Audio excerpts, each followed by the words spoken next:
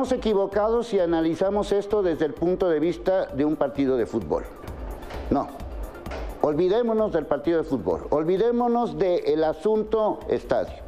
Estamos hablando de un país violento. Punto. Vivimos en un país violento. El escenario, sí, fue un estadio de fútbol. Pero hace unos días el escenario fue un velorio. Y otros días el escenario fue un camión. Y otros días el escenario fue la calle. Y otros días el escenario fue una escuela. Y otro día así ha sido. Vivimos en un escenario violento, donde hay demasiadas irresponsabilidades. Empezando por Querétaro. ¿Cómo es posible que en un partido de fútbol con antecedentes no hubo una seguridad ni municipal ni estatal? Primer error. Seguridad privada, que fue contratada a ver qué sale por 300 pesos, gente que nunca tuvo experiencia. Ahí el responsable también es el gobierno de Querétaro. También es responsable la Federación Mexicana de Fútbol, porque sabiendo cómo es el asunto en México de la violencia, han dejado pasar todo, han dejado que esto sea como sea. También son culpables muchos que forman parte del fútbol, que son profesionales que se dedican a enardecer a la gente con sus comentarios y promover la violencia.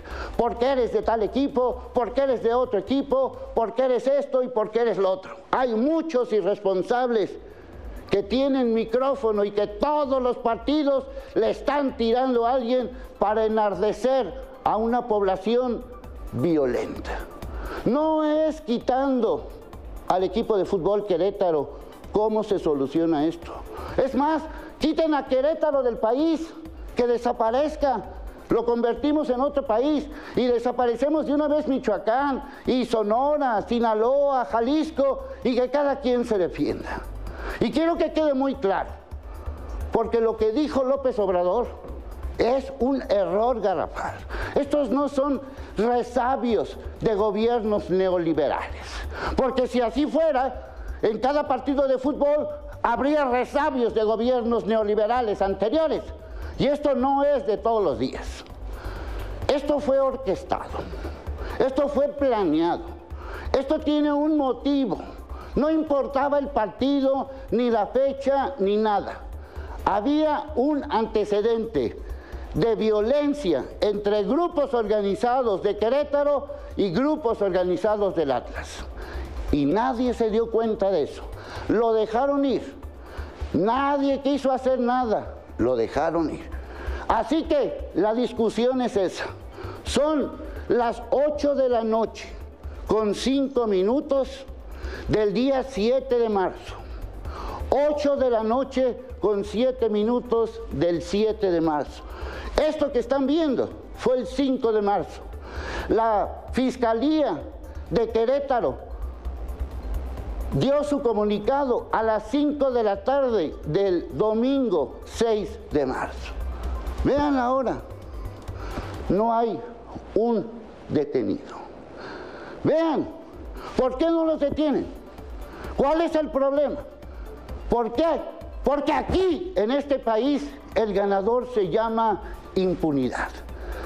Así ganó en Michoacán. Así gana el que se mete al camión y se lleva los celulares. Así gana el que se roba la camioneta. Así gana el que se lleva y se mete a tu casa. Así ganan todos los delincuentes.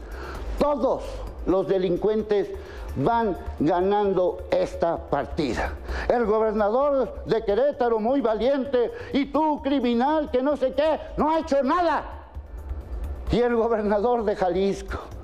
Ahí yendo al estadio con la gente del Atlas. Así me hubiera gustado verlo con las madres buscadoras que encontraron cuerpos de gente de Jalisco que fue asesinada porque la violencia está en todos lados. No, no es un partido de fútbol. No es un estadio, es una serie de irregularidades, de gobiernos fallidos, de inseguridad, donde ya no puede uno ir a ver un partido de fútbol con tu esposa, con tu novia, con tu hijo, con tu madre, con tu padre, porque no sabes si junto a ti hay un maldito criminal que hoy a las 8, 7 de la noche sigue estando libre e impune. No es eso como para señalar un sistema derrotado. Ahí les voy.